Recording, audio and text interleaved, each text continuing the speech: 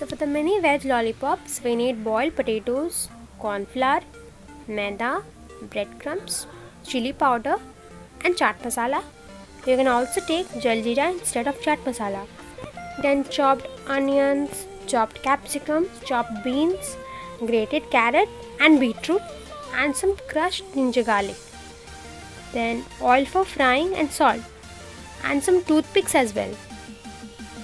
Now in a pan, I'm going to add 1 tablespoon of oil and the beans to it for a quick stir fry. Then comes the capsicum. I'm stir frying them for a couple of minutes as I don't like their raw smell. I'm adding the crushed ginger garlic and this step is over. I don't want to over fry them as I also want the crunch. Now comes my favorite part. Pata hai kyun? This step is very easy इसलिए क्योंकि यहाँ पे करना कुछ खास नहीं है, सिर्फ़ पोटेटोज का भरता बनाना है।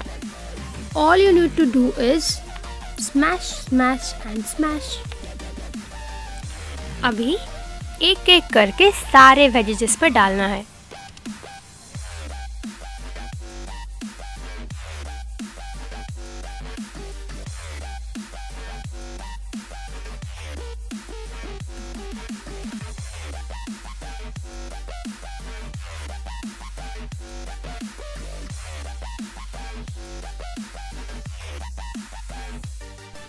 Now after adding everything, mix everything well.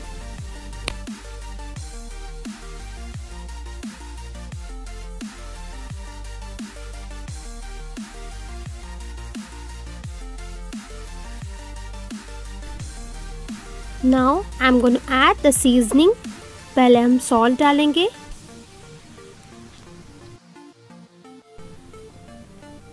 then chili powder now lastly add chaat masala and mix everything well.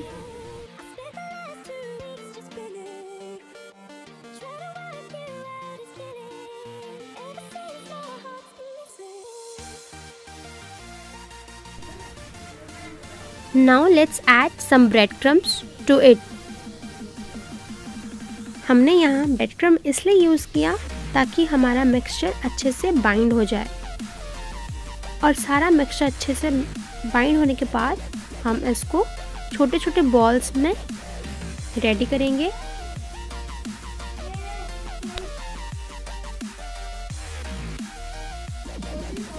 Now comes the next step जहाँ हमें मैदा और कॉर्नफ्लावर का बैटर बनाना है, जो कि ना ज़्यादा वाटरी ना ज़्यादा थिक होना चाहिए। तो एक राइट कंसिस्टेंसी पाने के लिए हमें थोड़ा थोड़ा वाटर डालना होगा। एक साथ पानी डालेंगे तो आपको पता नहीं चलेगा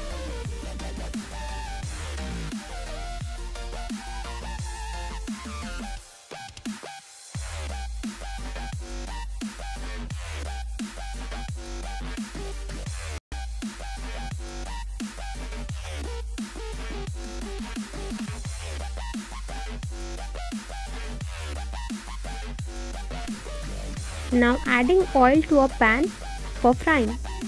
Then in this step हमें अपने वेजिटेबल बॉल्स को कॉर्नफ्लोर और मैदे के बैटर में डंक करना है और ब्रेड क्रम्स में कोट करना है